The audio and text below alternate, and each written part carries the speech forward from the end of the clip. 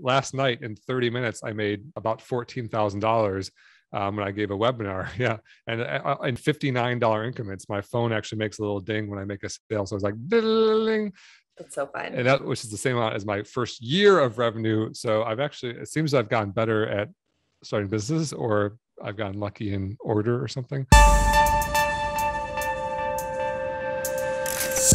Welcome to today's episode of Invested Success. I am your host, Elise, and I can't wait to present today's guest, Jeremy Schneider of the Personal Finance Club. Jeremy retired at 36 when he sold his company for over a million dollars. And then, after taking a year off to play video games, he took an interest in personal finance and teaching others how to become millionaires themselves. To date, Jeremy is worth over $4 million, most of which has been created through index funds and investing. And he shares how he went about building his wealth today on the podcast. So, if you want to learn the smart, practical, wise, and easy way to get rich, that's what we're going to talk about. Before we get started, please remember to smash that like button if you're watching on YouTube and subscribe wherever you happen to be listening. Please give a warm welcome, round of applause to Jeremy Schneider of the Personal Finance Club. Welcome, Jeremy.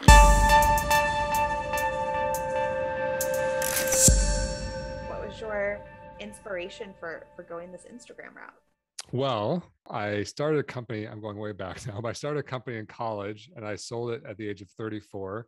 And I quit my job at the age of 36. And so I was unemployed. And then for like a year, I played StarCraft 2 and I was not very good at StarCraft 2. And then over the New Year holidays, I like left for on vacation for like a week and a half or something and came back and I had like temporarily broken my addiction of the video game.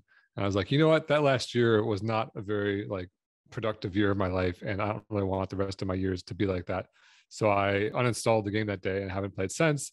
And then like, you know, days later, I started an Instagram account called Personal Finance Club because like my passion in life, spoiler alert, super boring, is like basically helping people learn about personal finance and investing.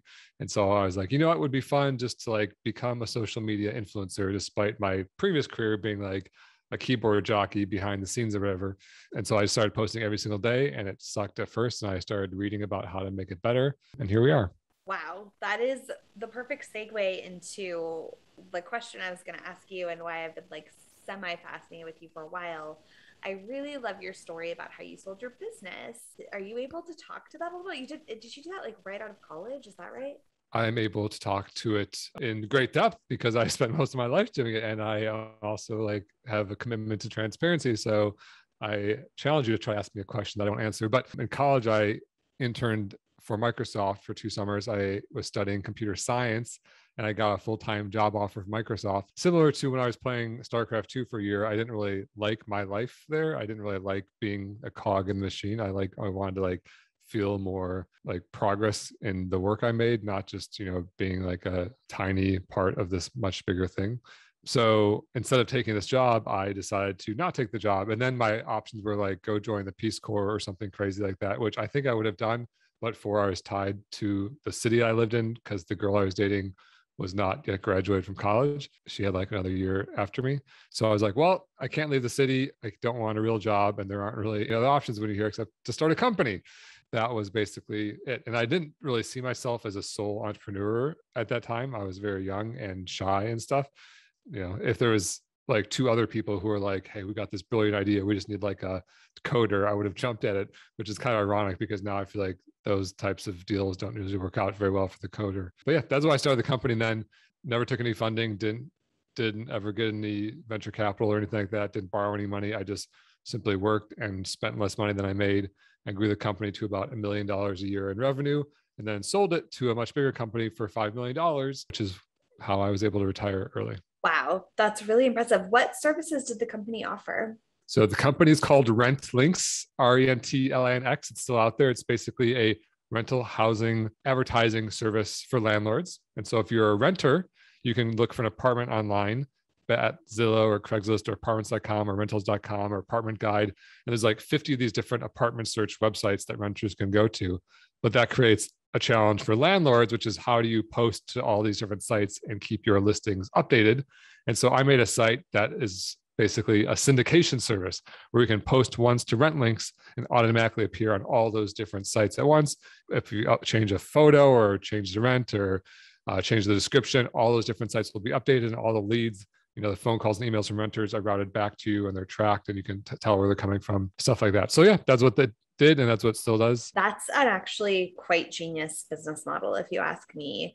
What was like the flow like? What did you have to do from day one? How did you come up with the idea? Did it come to you in a dream? Were you really methodical about it and investigated a couple of things? None of those things actually. It only sounds good i think when i explain it in 15 seconds after 12 years of practicing it at the time it was much messier in fact the company wasn't called RentLinx at first it was called hercules solutions which is what the 21 year old version of me thought would be a cool name at that time, Hercules Solutions was just trying to make money so that I would not starve and could go to the grocery store and buy food and things like that. And so I was just doing whatever, like anything it would pay me for, basically, including I was a part-time carpenter for a while. But then I sold basically sold a website to my old landlord. And I was like, ooh, like my old landlord bought a website. Maybe some other landlords would buy a website. And it was literally over the course of like two and a half or three years before the company even formed a product that looked something like it does today. To my credit, I didn't give up, but to my discredit, I think I would have done better had I more aggressively sought the feedback of my potential customers and iterated more quickly. Because what I really was doing was just like building something and then trying to sell it. And then it didn't work very well. And then as I slowly over the years got better at that, finally found something that worked pretty well. So yeah, it was it was it was a messy, long, windy road and only worked due to persistence. If I had to do it again, I would have kept the persistence, but I would have introduced more iterative learning. So i would get to that you know endpoint quicker. That's really wise. Yeah. What's it like building a million dollar a year business? What is that journey like? That sounds maybe stressful and overwhelming or maybe maybe not. Tell me it was a lot of different things. It was 12 years of my life. Early on it was very hard. No one wants to give you money at first when you're like a 21 year old kid and you're like trying to sell them software or whatever. You know so making those first few sales were hard. My first year in business, I think our top line revenue was $14,000 before expenses were paid, which were probably $4,000 or something. And so I basically got to take home $10,000, which this was the year 2002 or so, still was not enough money to live on. You know, my rent was, you know, 600 bucks or something and 600 bucks times 12, I'm almost out of money at this point. So I was living on credit cards. And so for the first year, I basically racked up $10,000 in credit card debt. So I lived on $20,000 $10,000 of income and $10,000 of credit card debt. But then as, you know, after year two, I was still losing money. Year three, we were making money. I was able to pay off my credit card debt. You know, as we went on, we started hiring employees and there's seven of us eventually. So it was always like a small business, but you know, I also like was a relatively conservative business owner. I didn't spend beyond our means or anything. And so after the first few years, we actually got to a point where we had like six or eight months of cash in the bank and we had a recurring revenue business. And so there's like very little likelihood of just like, you know, not being able to make payroll or something. Still, it was like a lot of uncertainty and we were still small in a big world. And I was like, someone's going to sue us out of existence or, you know, who knows what's going to happen. But, you know, you just kept pushing and trying to improve one little thing every day and try to increase how many customers we're getting and make the product better and make the search engine optimization better and the marketing and the you know like entrepreneurship is like mostly just about like doing 10,000 little things pretty good and improving all of them all the time that's what I try to do and it was nice that's incredible. That's so impressive that not only did you really wildly succeed at this and now you're totally rocking the personal finance game technically how does the revenue come in for that business? Like do you have recurring subscription com- customers or like where does how does that all work if you don't for which business? RentLinx? Rent links specifically but we'll dive into more more nerdy Great. personal finance stuff if that's okay yeah time. well personal finance club is now a business too in fact it's kind of funny last night in 30 minutes i made about $14000 um, when I gave a webinar. Yeah. And uh, in $59 increments, my phone actually makes a little ding when I make a sale. So it's like, ding, that's so fun. And that which is the same amount as my first year of revenue. So I've actually it seems I've gotten better at starting businesses or I've gotten lucky in order or something.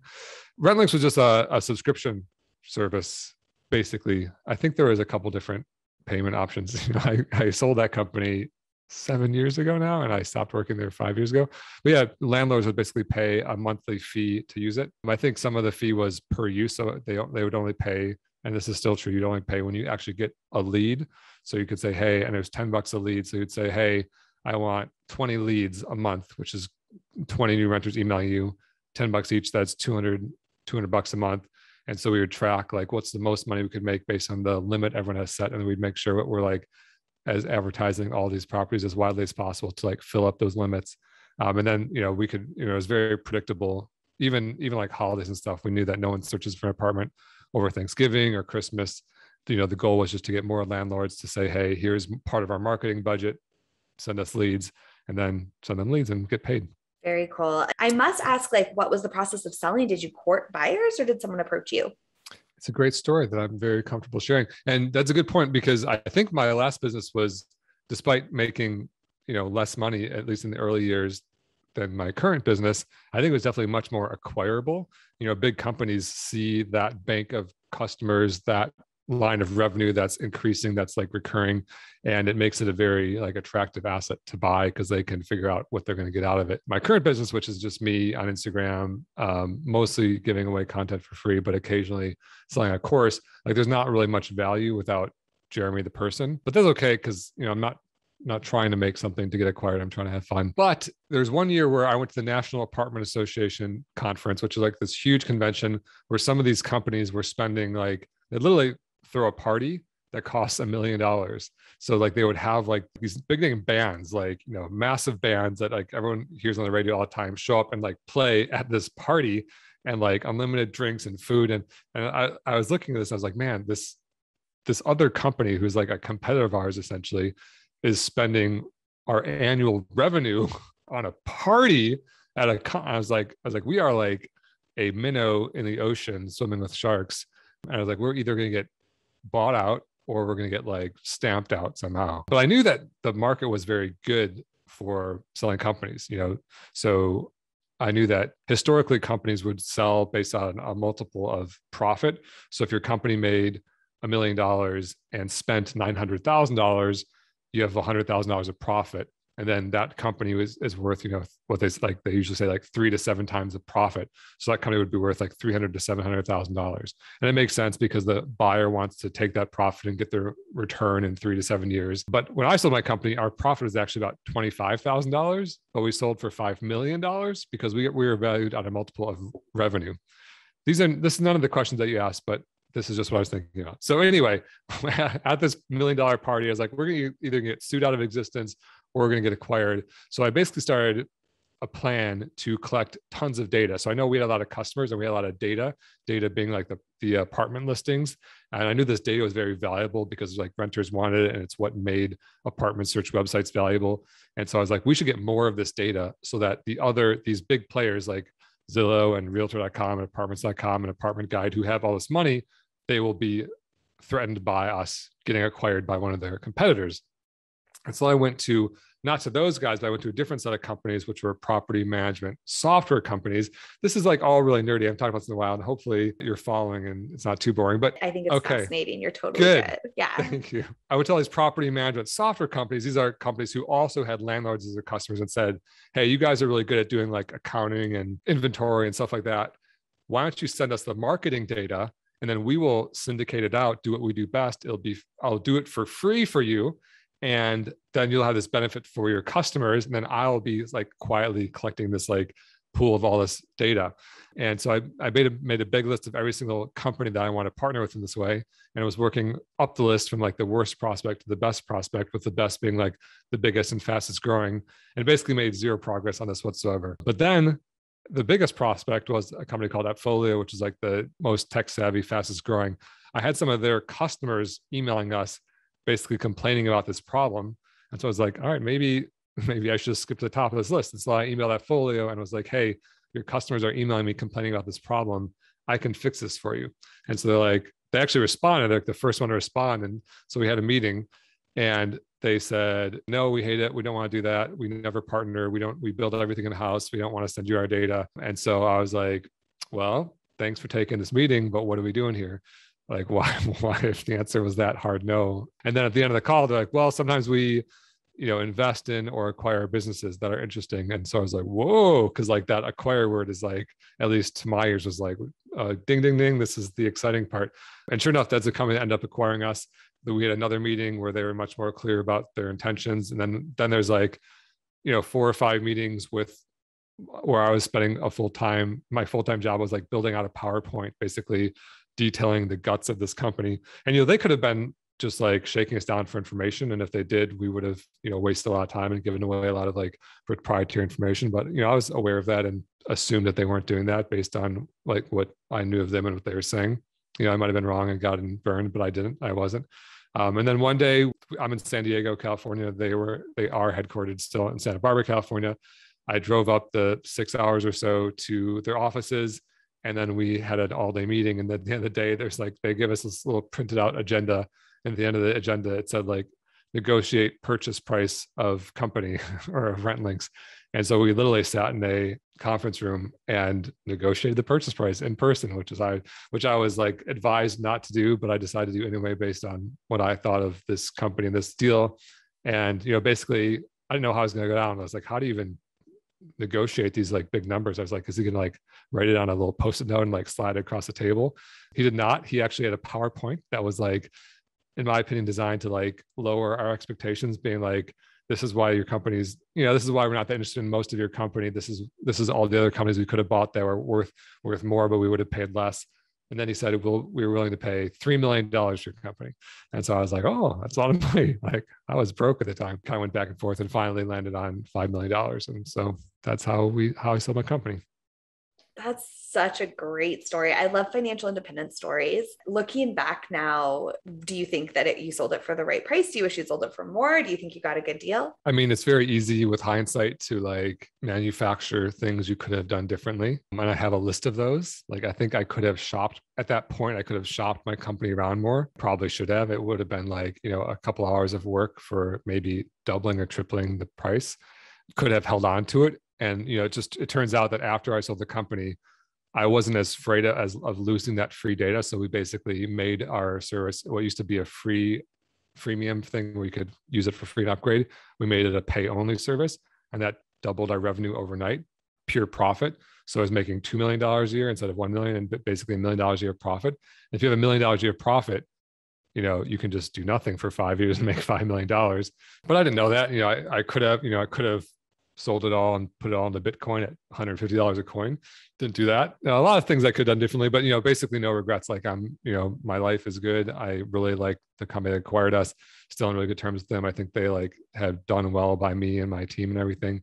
So yeah, life only marches forward, and I'm happy with the deal. Yeah. Yes, I think everything about it sounds played perfectly and is very brilliant. That's not what I was up to at that age either. So congratulations on being really smart and savvy right out of the gates. I mean, like I said, it sounds better talking about it in retrospect, knowing there's a success, but certainly at the time it, it felt messy and uncertain. And there's a lot of bad days, a lot of emotional roller coasters where you're just like, this is never going to work. I'm wasting my time I'm going to be an embarrassment, a failure, you know? So, and who knows, like maybe it, it's just pure luck that it worked out. It's hard to tell when you like have the survivorship bias of like only, you know, hearing the success stories, you know? That's exactly what I hear from every founder who sold their business. And I've had a few on this show at this point. Really an intense process when you're in the middle of it. If you could go back and give yourself any advice during that time, do you have anything you think you might say, or do you feel like it played out all just as it was supposed to? You're doing perfect, Jeremy. Never change a thing. No, I would tell myself to buy as much Bitcoin in 2010 as you can get your hands on, of course. You know, I think my general business advice would have been to like more, I kind of mentioned earlier, where I'd like more aggressively collect feedback from my customers to try to build the thing that's going to impact their business um, instead of just like because I was a software developer who was just building the thing that I thought they needed without really understanding their businesses. And that was a much less successful and much slower process to get where I needed to go. But you know, I do give credit for the persistence. I, you know, persistence is like the right way to say, or the nice way to say it. There maybe the not so nice way is like stubbornness, where I just I didn't want to be seen as a failure, so I never stopped. I never like quit the company, and it you know it eventually pays off. Almost thankful that I didn't ever end up buying any. I remember like a year, a day in 2010 where I like I learned about Bitcoin. I saw it was six cents a coin, and I was like, like, should I buy like a hundred bucks worth of that just so I have some? And then I like thought I was like, no, there's there's zero chance that a Bitcoin would ever be worth the same as a dollar. I'm not going to waste my time. And you know, spoiler alert, it's now worth like forty-seven thousand dollars. But if I had bought oh. some, I probably would have sold it a dollar, like you know, claimed claimed that I'm a genius uh, for like 10xing my money or whatever, made turned a hundred into a thousand and, and spent that thousand at in Vegas or something. And it's, it's easy to say what you would have done if you bought it at six cents and sold it forty-seven thousand, but like that's not how life works, you know. Oh, Jeremy, I could talk to you about that all day. So, like, I was in the Bay Area in 2017 and I was working Bitcoin conferences and hanging out with all the Bitcoin influencers. And I remember the day of the Bitcoin conference that I was working on, it had crashed and everyone was really sad. I actually know the founder of um, the first Bitcoin ATM. He saw its future. He like knew it was there. It's just the issue of being like too early of an adapter to that stuff because you lose faith in it by the time it gets mainstream and explodes. So I had some friends who were forecasting the explosion of Bitcoin. I texted my Bitcoin ATM friend and was like, "Do you think I should get some?" And he's like, "No, screw Bitcoin." And of course, it, I was just yeah, I was so I really regretted that one. I have to say, but it is true. If you were in it, and I know many people who were, that didn't necessarily mean that you would have hung on to it because you might yeah. have sold it at like, you know, 20,000 a share or whatever. So yeah, I agree. It's it's really easy to have that FOMO, but you know, can't beat yourself up over those choices.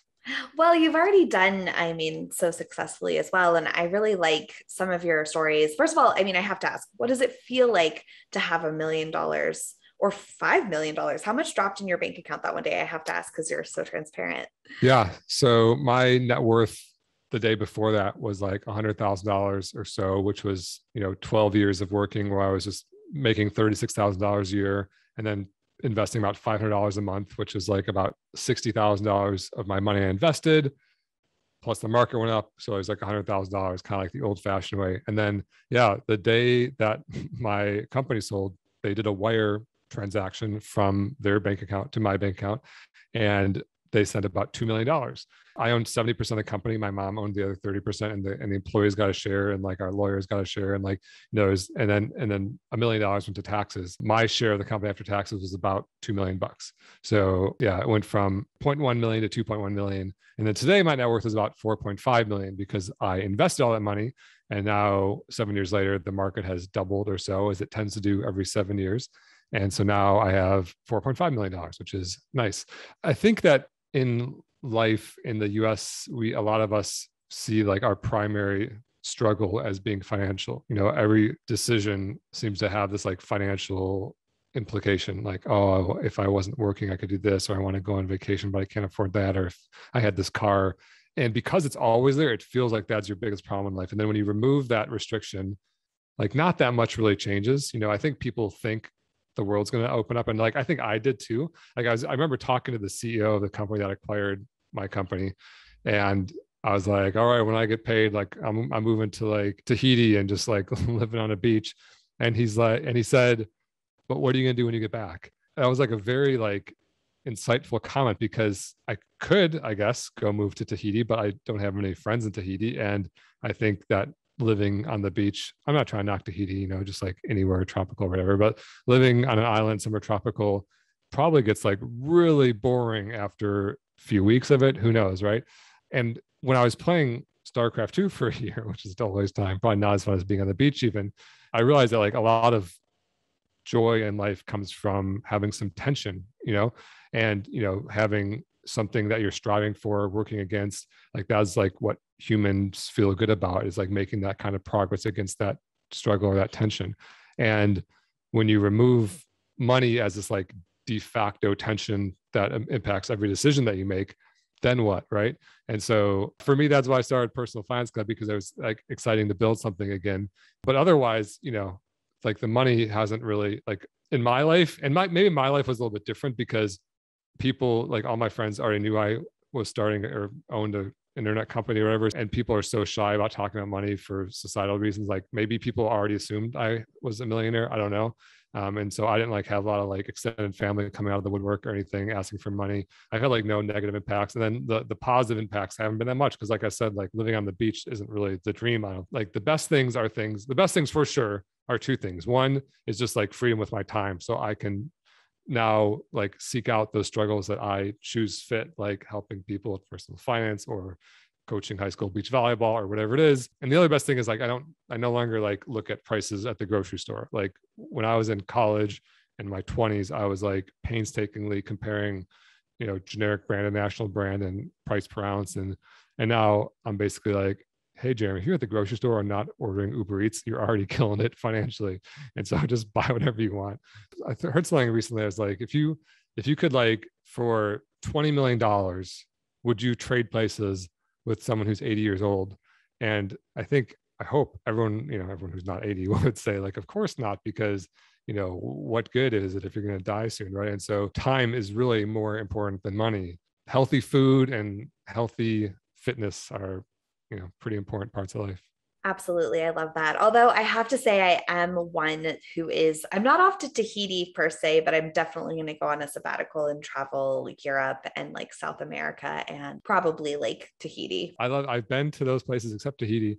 I love traveling. And yeah, I, I still have a dream. Like I'm unmarried, but I have a dream of like when I find my forever partner is to like go, there's these, there's these plane tickets you can buy where it's unlimited flights for one fixed cost, but you have to like always land further east than you started.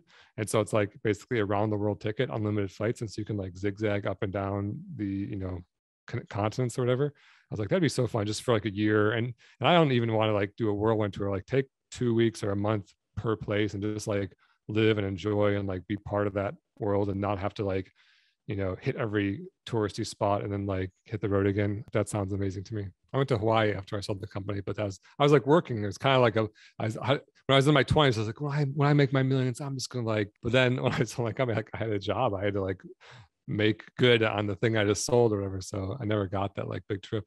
All right. Yeah, I could do it now.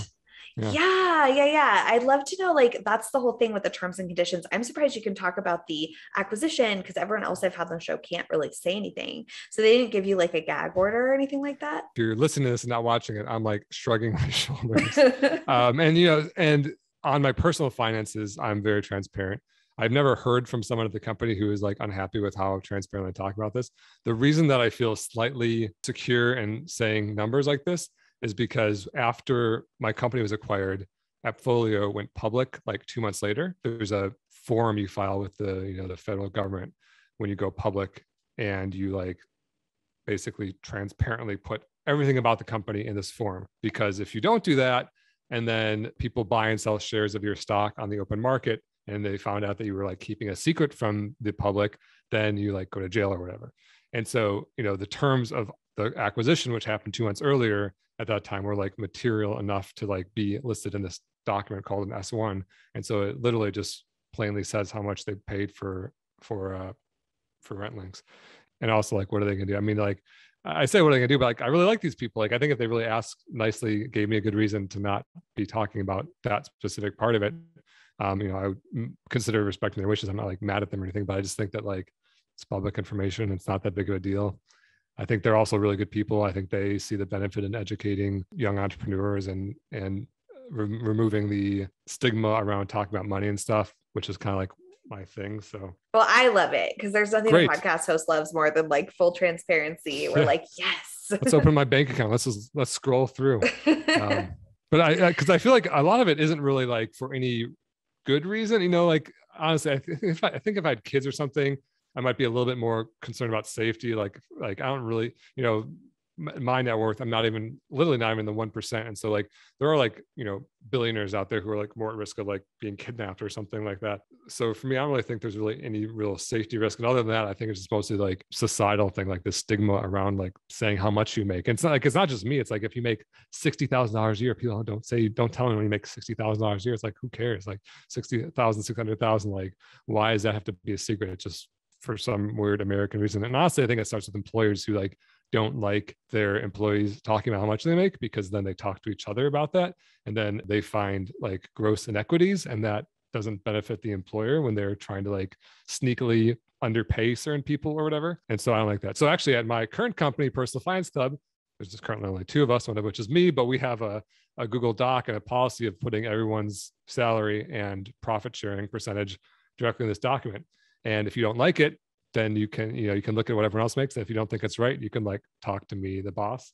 You know again, there's only two of us right now but then as a boss like i have to back up. I have to say yeah that's what you're worth. And if you don't like it you can quit. Or i have to say no you're right. That's not what you're worth. And i have to like I have to own up to that. That's amazing. I'm all about the negotiation and the transparency as well. I think anyone who's been a business owner is always like, you probably should ask for a raise and that kind of thing. Cause I think a lot of people don't realize they should. But that's really cool. Who, who else is on your team in Personal Finance Club? Last October, like 11 and a half months ago, I was so bored during the pandemic. I turned my little hobby Instagram account into a business and launched a course. I think we made $110,000 in the first week, which was bananas and then I was able to hire someone and I put out like a job application or job post and had I even didn't make it easy to apply. Like to apply, you had to solve a puzzle, and the answer to the puzzle was the email address to apply.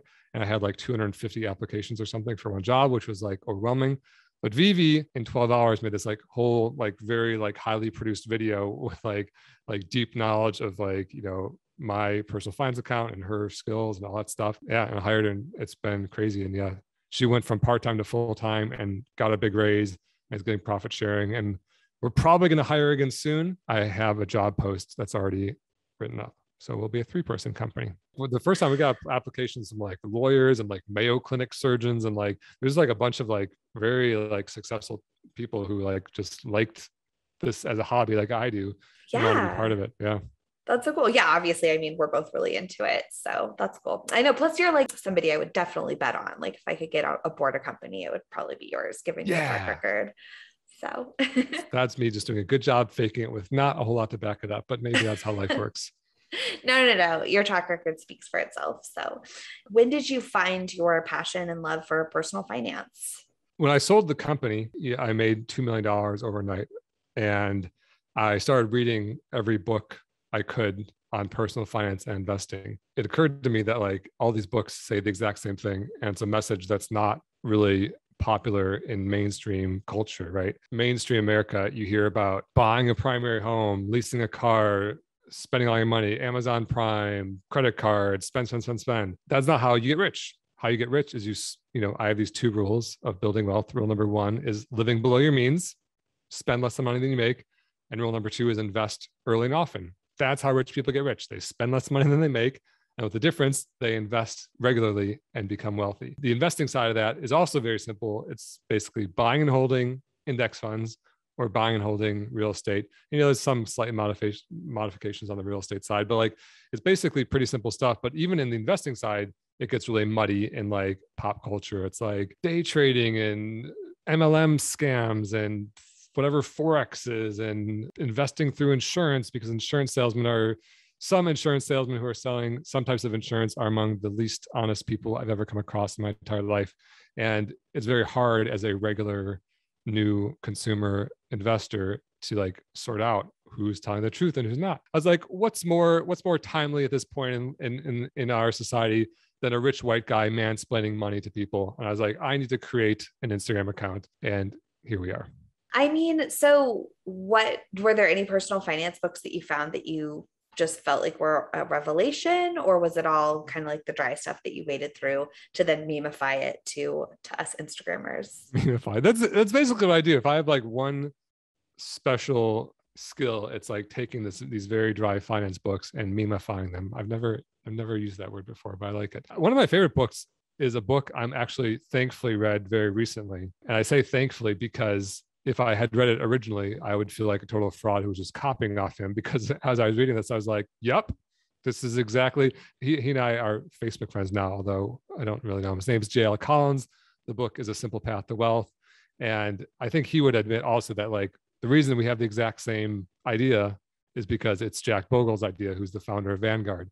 Both of us just have maybe made a slightly more mainstream, simple explanation of that you know whatever the differences there's can be some very minor differences in how we present it or whatever but you know if people ask for like one book that's the one that i'll usually say. One of the first books i read was called a beginner's guide to investing which is like 100 pages on amazon. It's one of these little like it's almost like a cliff notes kind of thing there's like two bucks on kindle. And it's like i actually really like it. I think it's a really nice it's just like it kind of like just covers the highlights of all these classics on investing. And I think it does a good job. A Random Walk Down Wall Street is a great book. That's like another one that kind of like pokes all sorts of holes in these like myths around day trading and different types of you know speculative investing so i have a i have a reading list on my website if you want to hear other books like personalfinanceclub.com and you can just search reading list. I love that. I can't believe you're facebook friends with jl collins. I'm such a fan girl so. I don't think he has any clue who i am. I think you just friend him and he will be your friend. I bet he knows who you are and thinks you're cool. We've never dm'd uh, I'm gonna add him now. Will you okay. add me on Facebook too, just so I can be a yeah. friend of a friend of JL Collins? Oh yeah, like, oh, yeah. if you know this bot, you must be a good bot. I mean, from one nerd to another, my husband has found some really interesting ways of day trading and value investing that are next level. So this is not the beginner finance 101 stuff, but if you ever want to hear about that, have you ever dabbled in any of that stuff? Sure. I guess I have a hard time believing it's going to outperform buying and holding index funds over the long term. You know, I do believe in having a go wild portion of your portfolio. So I have this 90 10 rule with like 90% of your portfolio buy and hold index funds with 10% go nuts. If you're so good at outperforming the market, then your 10% will quickly out outpace the 90%. And if you're not as good, then at least you didn't blow blow your whole uh, portfolio that is my thoughts as well. I'm a little risk averse and I, I've had to work on that actually. Like I was a cash hoarder for a decade. And now that I know how easy it is to invest, I'm just angry at myself. So I had to start this podcast for past Annalise to get her to do what I wish I had done. But that's why I really loved that Instagram video you posted where that was me in my 20s. Like, what's so hard? Where do I do that? So I really liked your uh, fidelity finger Instagram video. nice do you just film these all at home? Or like how do you how do you put them together? Tiktok is like a crazy platform right now. You know i'm doing a lot of stuff with my life but if i were to have one focus try to get as big as possible i would be trying to make one tiktok like one pretty highly produced tiktok video every day because i think that's how like the quickest way to like millions of followers. But yeah they're just in my house like they're on my phone. It's like kind of an amazing time because a lot of people watched game of thrones for example which is like this fantastically expensive, you know, highly produced series from HBO that took years to make. But like TikTok has almost like the same number of eyeballs and hours. It's crazy. And like just a person with a phone with like a clever little idea can like get their share of those eyeballs. It's like a very weird time where it's like this massive opportunity. And it's almost like the low production quality almost is endearing because it feels like you're in their home or you're just like hanging out with them.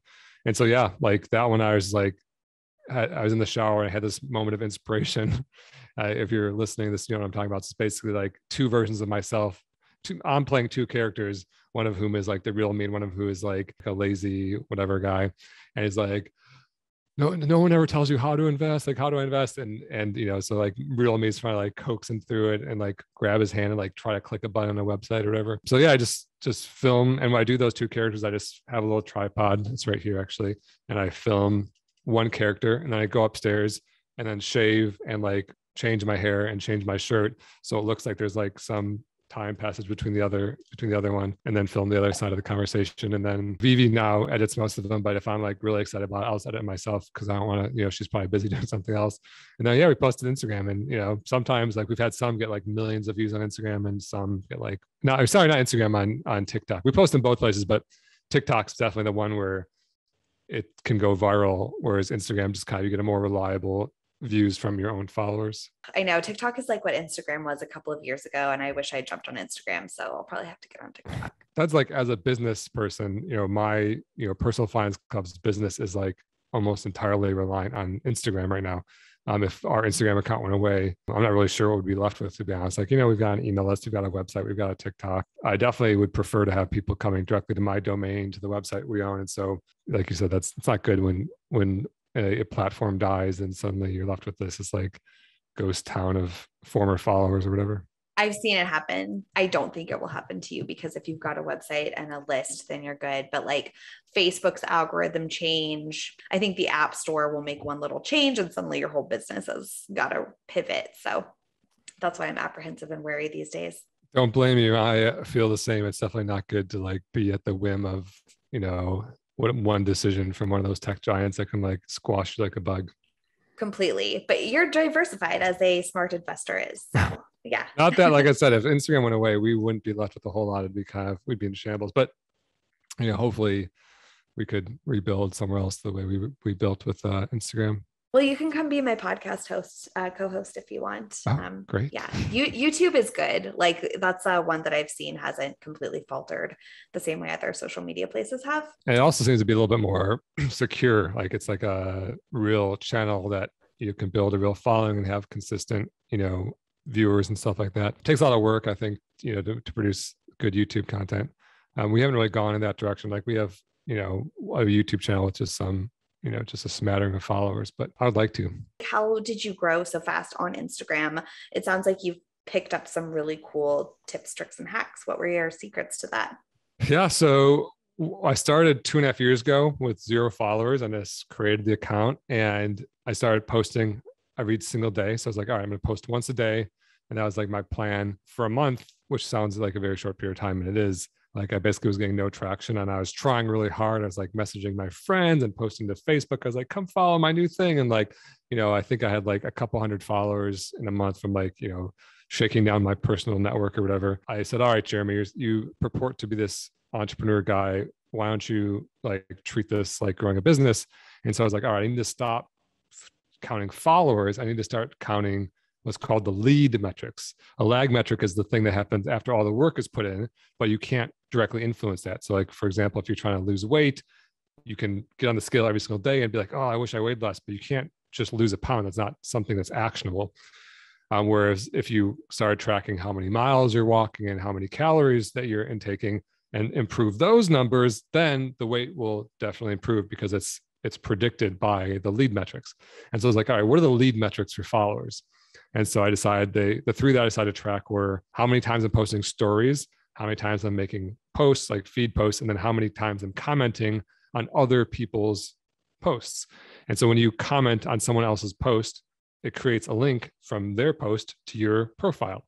And if you do that zero times, there are no links to your profile. But if you do it like 10 times a day, then there's 70 a week and 300 a month links out in the Instagram ecosystem that are pointing back to your profile. And so I started tracking these things. I literally made a Google sheet that had these three columns and I tried to get those numbers up. I was like, all right, I'm going to post more stories, post more feed posts, and then I'm going to get out there and comment. And, you know, I wasn't spamming, you know, just because your tracking number doesn't like relieve you of having to do good work. I was making good, high quality posts. And I was also trying to iterate on what was connecting with people and looking at you know the feedback and looking at the stats like the views and stuff and trying to make stuff that connected better and then doing a lot of like insightful interesting funny whatever comments on other people's posts. And then the numbers started to move then the followers started to move right? And so like true to form when the lead metrics improved the lag metric improved then i kind of had a few like little viral things where i was shared by a bunch of accounts and, and grew. I remember there was a day where I asked this guy, he had, I had like 200 followers and he had 500 followers and he was making good content. And I was like, I was like, Hey, you want to like have some collab, you know, we can like share each other's stories or, you know, whatever. And, you know, it's like a little bit of a corny thing to message someone. So I don't really blame him, but he's like, he's like, nah, bro, I'm just going to do my own thing. And I was like, yeah, fair enough. and so I was like hoping to partner with them with 500 followers. And today I have 295,000 followers or something like that. And so I bet you if I asked him to collab today, he would say yes. But you know, who knows? Well, I love your content. How do you come up with the ideas? Well, I guess you said the TikTok video, but like I said, the the memification emojis and all of that. Like, like are you just really brilliant at to stop distilling down these concepts into emojis? Yes. Or does it take a lot of work? Do you design them yourself? Super brilliant.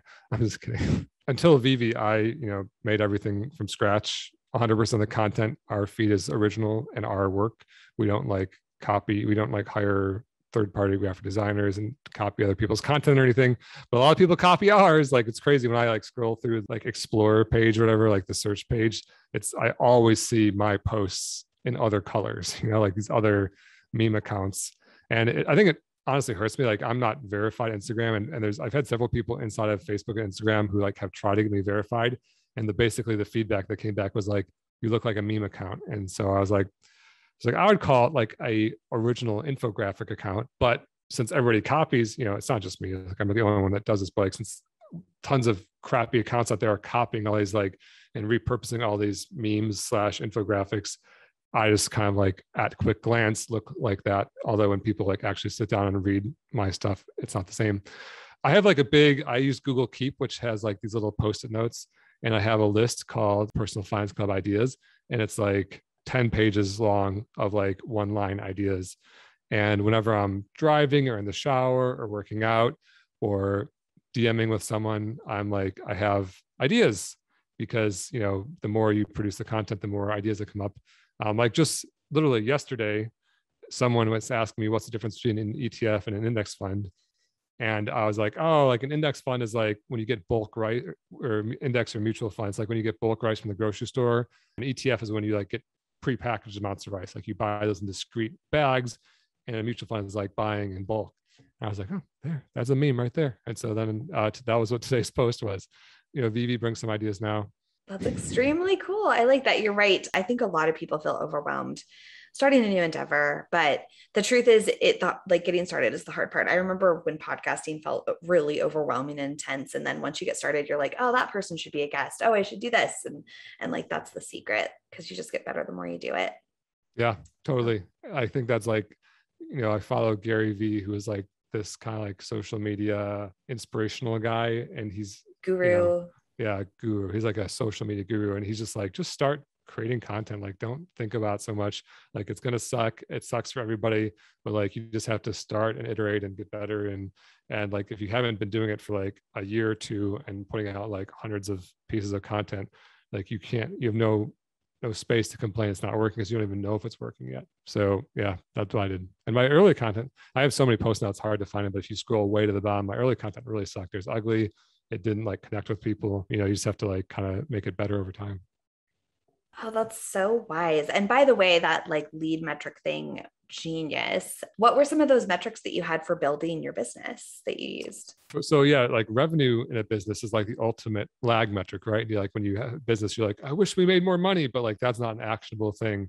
You know, it's like things that you can actually do to like drive and, and lead metrics are historically or like hard to identify and hard to track like the lag metrics are easy to identify, easy to track. Like if you want to weigh loss you just jump on a scale and it's obviously what you want.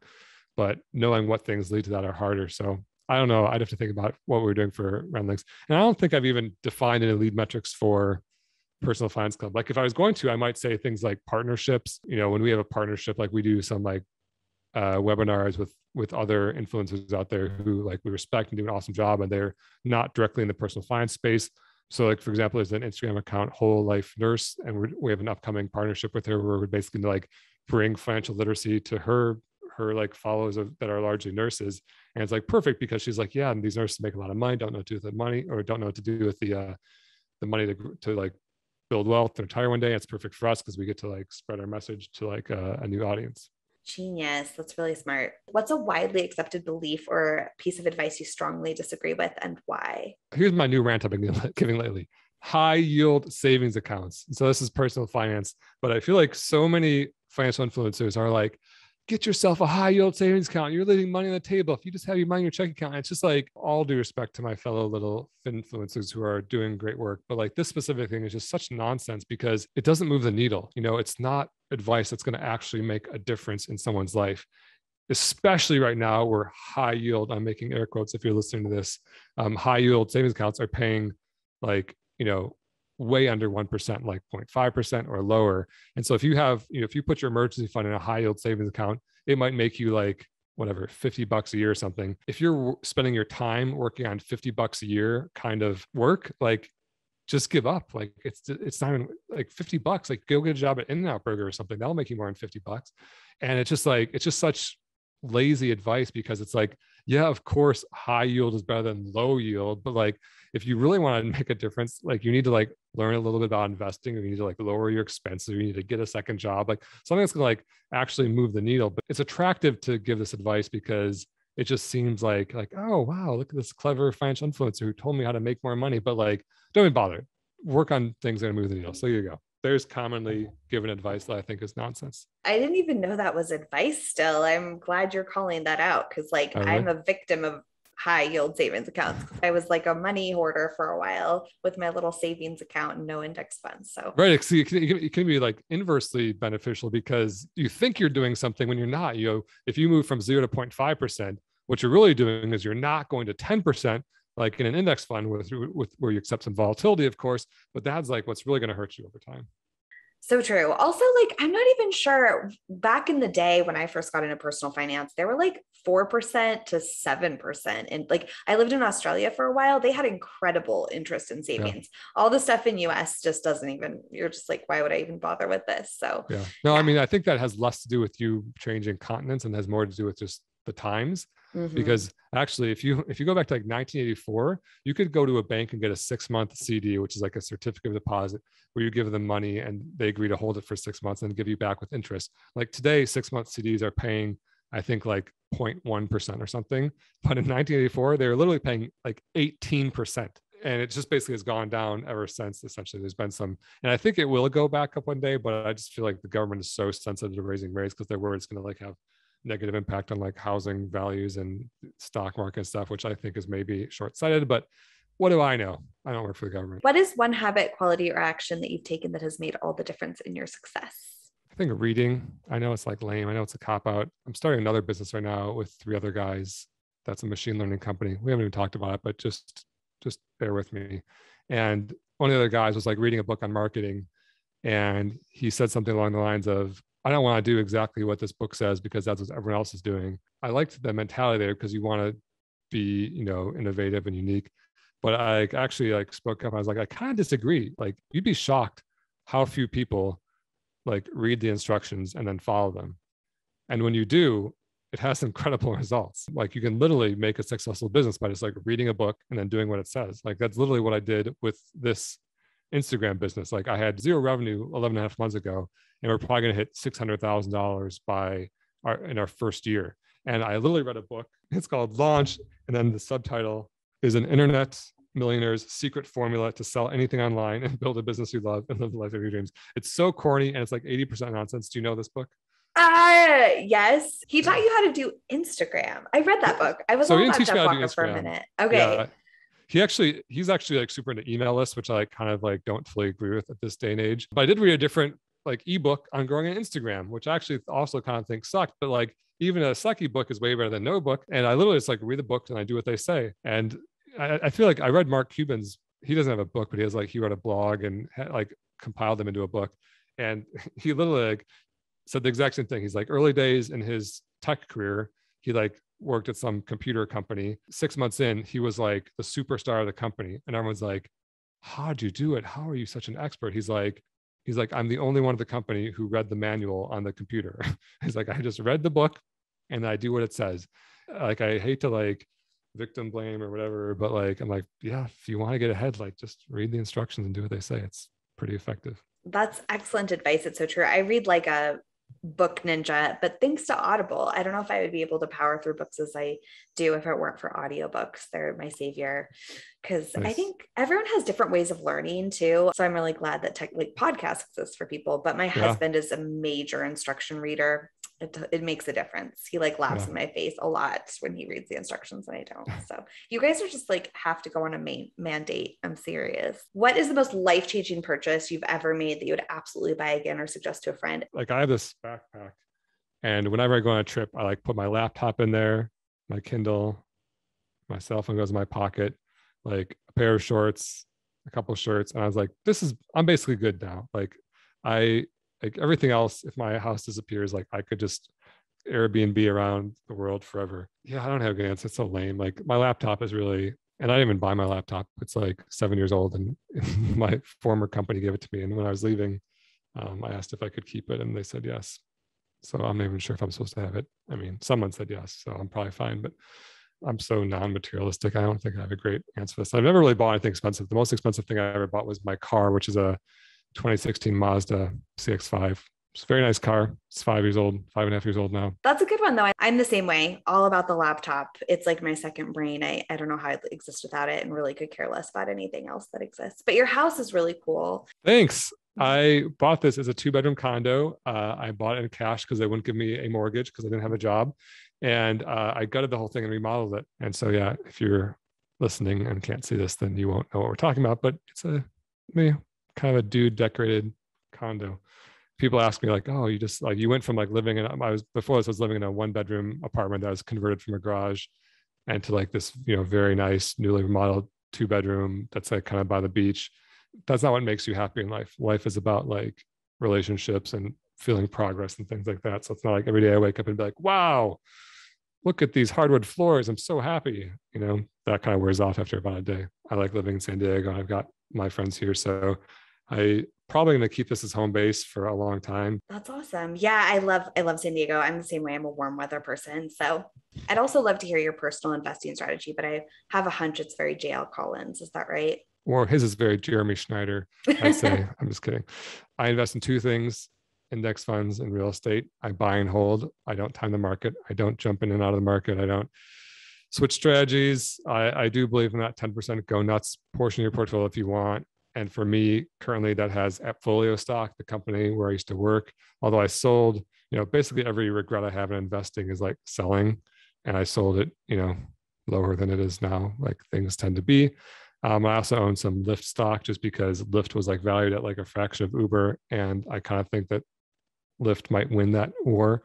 So I was like, eh, throw some money in Lyft. It's done fine. But otherwise, yeah, I just buy index funds. And you know, it doubles every seven years. And like I said, I turned my 2.1 into 4.5 and growing. And it's enough money. I don't know. What else? What else? What else am I going to spend money on? I'm fine. That's genius. I actually was going to ask you more about your real estate strategy because I've got this ongoing debate that maybe you can memify real estate versus index funds. My parents are 100% real estate.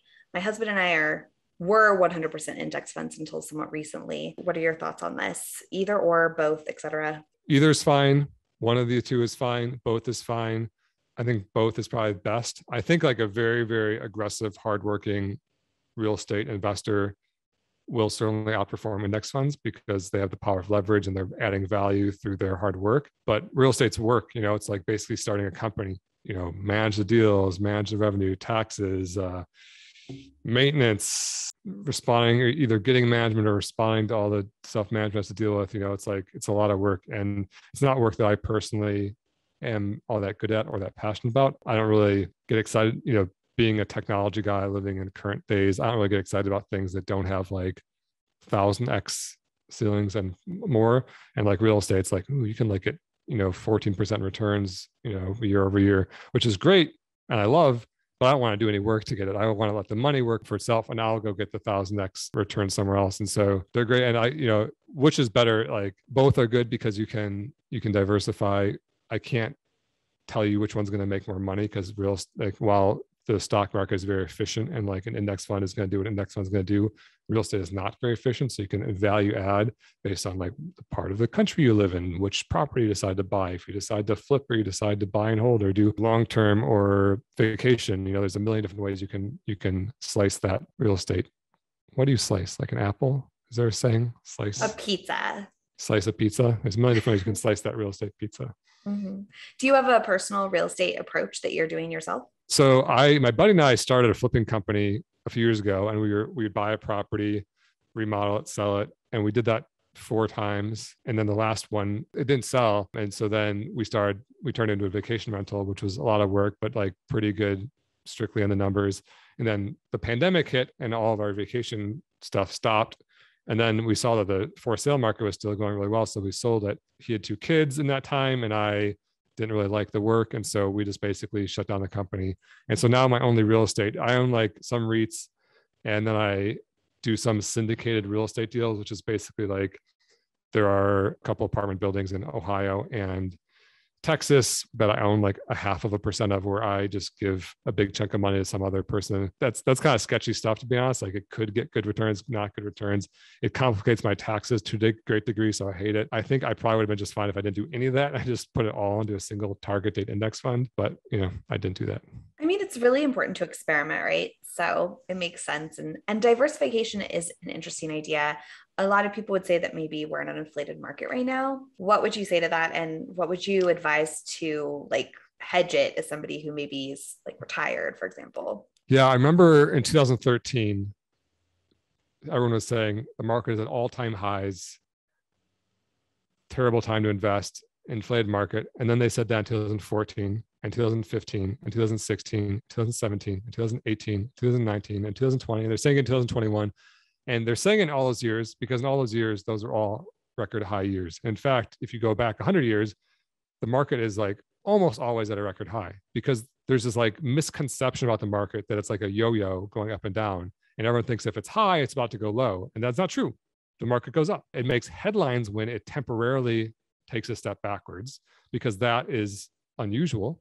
So in 1987, the market dropped like 20 some percent in a single day on Black Friday. Reports where I think these might not all be true, but there was reports of people like throwing themselves off of buildings and stuff because they've lost their life savings or whatever. But that was unusual, right? And then the market, guess what? The market ended up in 1987, like the year of 1987, it finished up. It just had a bad couple of days and then a good next few months, right? Then in you know 2000, 2002, dot com crashed, horrific, down 50%.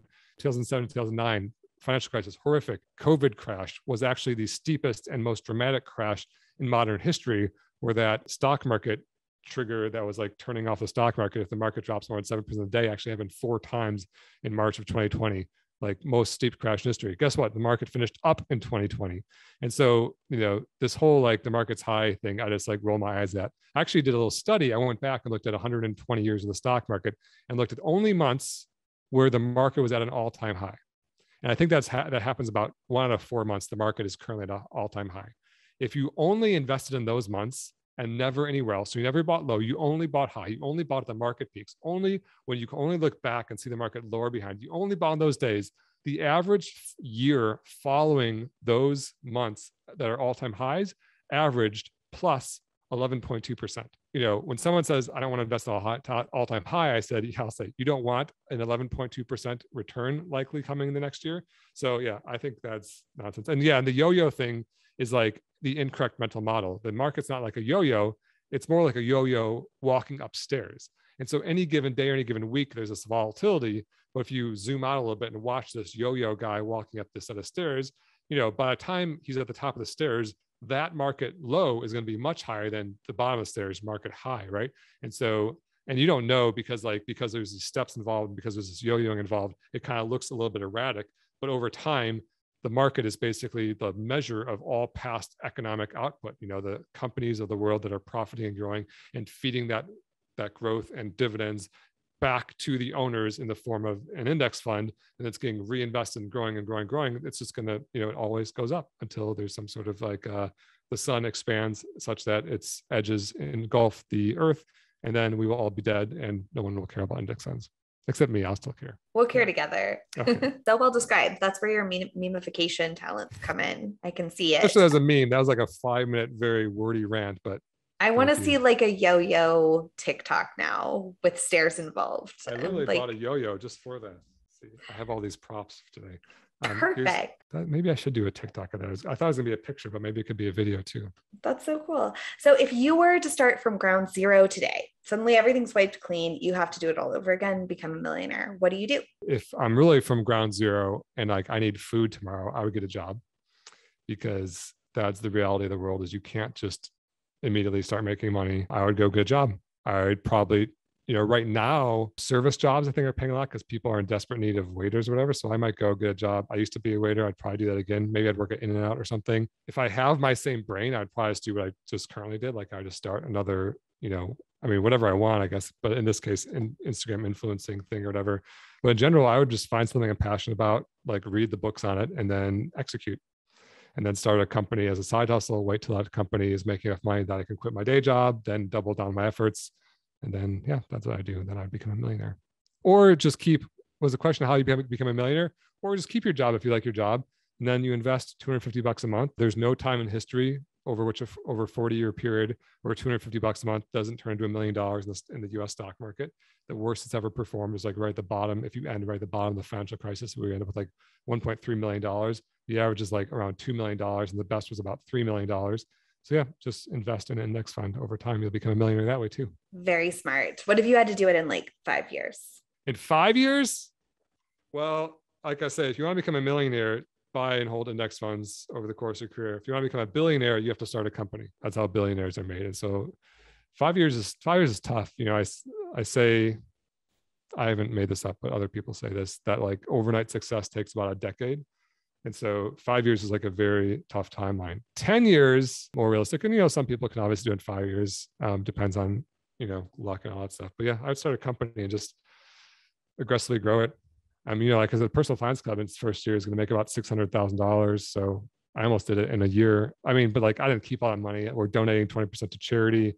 I hired a VV, you know, but you know, in five years, I, will definitely get there. I think. That's genius. Go look to people who do a good job building. You could even DM them and ask, you know, if you ask 10 of them, maybe one of them will respond and tell you what what they think is a good resource. In general, I think like Lean Startup is a good tech book. I think the E Myth, E dash Myth with E standing for entrepreneur, not electronic, is a good book. You should totally check out Built to Sell by John Warrillow. I had already read it, but recommended by another guest. Have you read that one? I haven't read that one. Oh, you'll love it. It uh, it kind of talks about what we are talking about at the beginning of the show with the SaaS model and all that.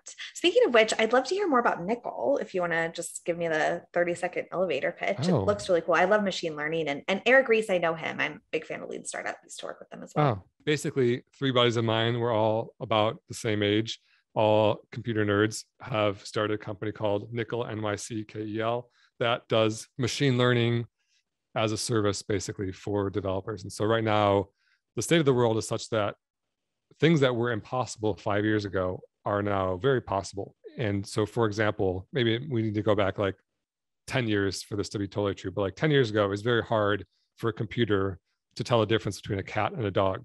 Like we just didn't really have that technology, like an image of a cat and a dog, right? And so like humans are very good at that. Like you can look at an image and very, very accurately say whether it's a cat or a dog. But to program a computer to know that is very hard because you're like, well, do you look for fur? Do you look for where their eyes are? Like you can't really like declaratively say what is a cat or a dog. You just kind of know when you see one. Inter machine learning, which is like this, like this massive advance in research, where now based on like the amazing research being done at universities and you know companies and stuff now machine learning experts can like write programs that can tell the difference between a cat and a dog and this whole other huge set of problems that were impossible before.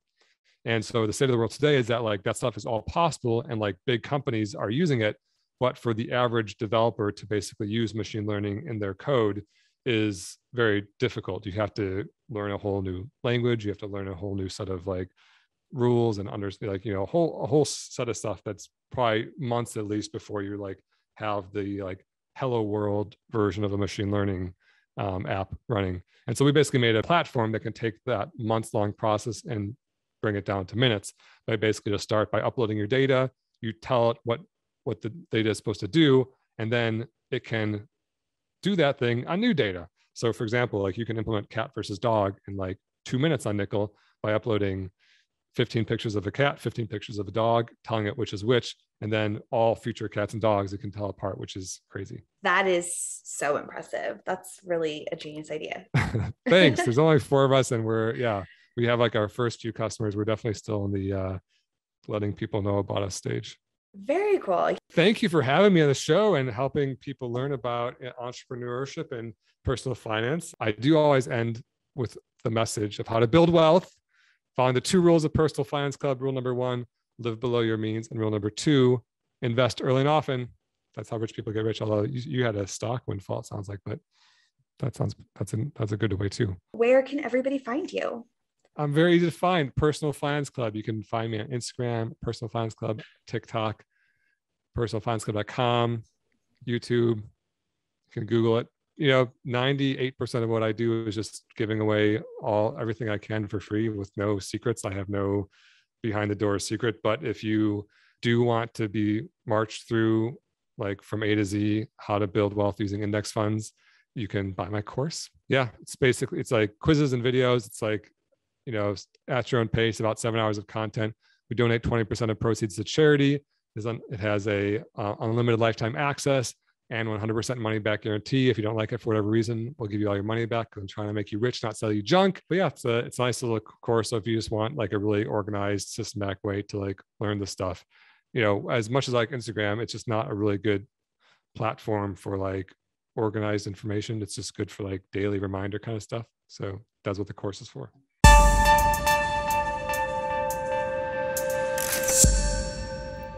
Jeremy, thank you so much for coming on the show. That was everything I hoped it would be and more. I feel like I learned so much, and it's always great to chat with someone who's as big of a money nerd as I am, for sure. So, thank you again. What was your favorite takeaway from this episode? I would love to know. Please drop a comment below if you're watching on YouTube or leave a review with all of your thoughts. I really want to hear them. Uh, as always, the most important part of the show is you, the listener, so I really appreciate you tuning in. And if you want to see more incredible guests like Jeremy spill all of their secrets to success, then the best thing you can do for me is drop a comment below, like this video, or hit subscribe because the more likes, subscribes, comments I get, the bigger deal we are to Big Shots and the more they're motivated to come on the show. So I can bring you quality guests if you do me the huge favor of being a subscriber. I really appreciate you watching as always. We have another incredible guest coming for you next week. I'm really excited about this one. I think you're going to love this episode. So be sure to tune in again for the next episode.